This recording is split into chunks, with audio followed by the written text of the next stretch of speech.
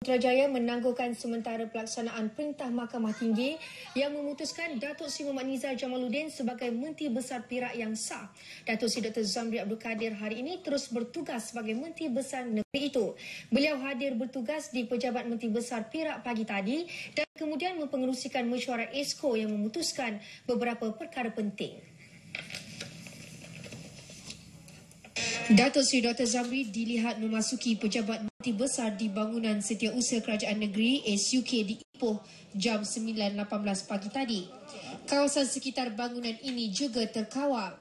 Beliau kemudiannya turut mempengerusikan mesyuarat ESCO. Selesai mesyuarat ESCO, satu sidang media diadakan beliau. Tugas kita sebagai ahli-ahli politik untuk memberi perkhidmatan kepada rakyat, untuk memberi sesuatu yang yang terbaik dan juga untuk memastikan uh, pentadbiran kerajaan dapat berjalan dengan dengan sebaik-baiknya. Mesyuarat ESCO yang dipengerusikan Datuk Seri Dr. Zamri itu memutuskan untuk mempercepatkan bajet pembangunan berkaitan ekonomi negeri Perak. Selain itu, pembesaran lapangan terbang Sultan Azlan Shah di Ipoh juga akan disegerakan. Ia bagi membolehkan syarikat penerbangan tambang murah, Firefly dan Air Asia akan beroperasi. Bajet untuk membiayai kos pembesaran lapangan terbang berkenaan akan dipohon daripada kerajaan pusat. Isnin lalu, Mahkamah Tinggi Kuala Lumpur memutuskan Datuk Seri Muhammad Nizar sebagai Menteri Besar Perak yang sah. Bagaimanapun semalam, Mahkamah Rayuan menangguhkan perintah itu selepas membenarkan permohonan Datuk Seri Dr. Zamri. Dengan itu, beliau akan terus memegang jawatan Menteri Besar Perak sehingga rayuannya diputuskan mahkamah. Dalam pada itu, Datuk Seri Muhammad Nizar Jamaluddin menfailkan permohonan di Mahkamah Rayuan di Putrajaya. Ia sebagai usaha untuk mengerepikan perintah penangguhan penghakiman Mahkamah Tinggi.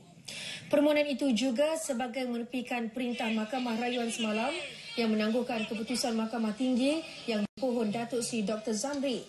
Peguam Datuk Seri Nizar memfailkan permohonan itu di Pejabat Pendaftar di Mahkamah Putrajaya kira-kira jam 2.20 petang tadi.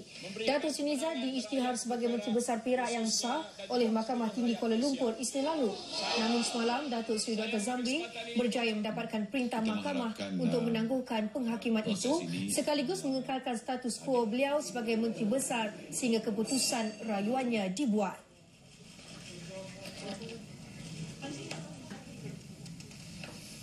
Perkembangan politik di Perak turut mendapat perhatian penulis blog tempatan, antaranya The Scribe A. Kadir Jasid.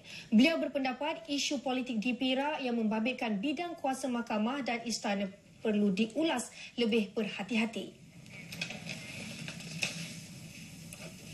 Dalam blognya, Datuk A. Kadir Jasin menulis keputusan Datuk Seri Muhammad Nizar Jamaluddin untuk membubarkan Dewan Undangan Negeri Perak adalah satu tindakan yang berisiko. Keputusan itu bukan sahaja memerlukan kebenaran daripada Sultan Perak yang mana sebelum ini ia pernah ditolak, malah ia menyalahi peraturan Dewan kerana tidak mendapat restu anggotanya secara majoriti. Beliau juga menegaskan keputusan Hakim Dato' Abdul Aziz Abdul Rahim mengisytiharkan Datuk Seri Nizar sebagai Menteri Besar Perak yang sah tidak harus dipersoalkan. Ini kerana menurut artikel 16 kurungan 6, jawatan Menteri Besar tidak boleh dianggap kosong selagi penjawatnya tidak meletakkan jawatan dan tiada undi tidak percaya terhadap beliau di Dewan Undangan Negeri. Dan bagi menjernihkan keadaan, Datuk Seri Nizar diharap menghadiri persidangan Dewan Undangan Negeri bagi membuktikan beliau mendapat sokongan Dewan. Namun tambah Datuk A. Kadir Jasin, Datuk Seri Nizar sekali lagi akan berdepan kesulitan apabila beliau bakal ditentang 28 wakil rakyat daripada Barisan Nasional dan tiga anggota bebas yang menyokong BN. Apapun keadaannya sekarang, Ekadir Jasin berharap pergeseran politik di Perak ini harus dipulihkan segera bagi mengembalikan keyakinan pelabur ke negeri Perak.